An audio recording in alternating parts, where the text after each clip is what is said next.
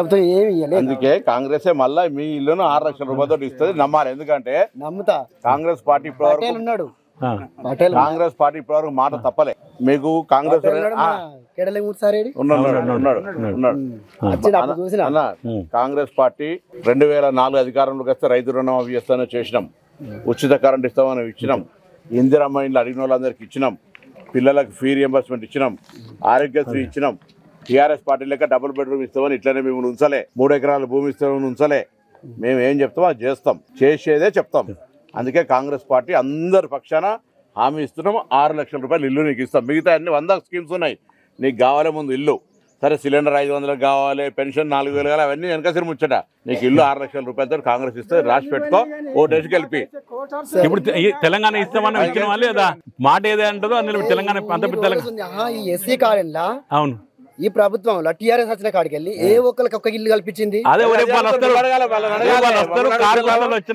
గత ఇరవై ఏళ్ళ కింద ముప్పై ఏళ్ళ కింద ఇవే కోటలుగా ఇంద్రం ఇచ్చిన ఇల్లు. జాగ్రత్త సహా ఇచ్చినాం. సహా ఇచ్చినాం. అడుగుతాయి కొంచెం కొంచెం కొంచెం తెలియక వస్తాను కదా. వచ్చిన వాళ్ళు వచ్చిన నువ్వు ఎక్కడికి పోవు? నేను. ఒక్క నిమిషం ఒక్క వాళ్ళు వచ్చినప్పుడు నువ్వు అడుగు. ప్లస్ మీ మీద కాదా అంటే ఇగో నమ్మకం ఇగో ఇవన్నీ రాసి ఇచ్చినాము. ఆ, ఇది పెట్టుకో ఇక్కడ ఇరవై ఏళ్ళ కింద ఈ ఇల్లు తయారైందంటే.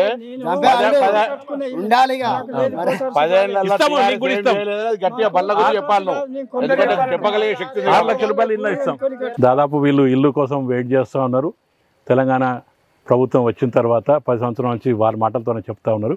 అప్పటి నుంచి కూడా ఈ గుడిసెలనే ఉంటున్నారు. నాలుగు దాదాపు నలుగురు పిల్లలు వారు ఐదుగురు ఐదుగురు బిడ్డలు ఐదుగురు బిడ్డలు వారు ఈ గుడిసెలు ఉండుకుంటూ ఆఖరికి ఇద్దరు ముగ్గురు పెళ్ళిళ్ళు కూడా చేసడం జరిగింది. ఐదుగురి. ఈ విధంగా మరి పది సంవత్సరాలు ఏ విధంగా జీవిస్తున్నారో మరి తెలంగాణ ప్రభుత్వము మోడల్ ప్రభుత్వమే చేసిన ప్రభుత్వం కాదని తెలుస్తూ ఉన్నది.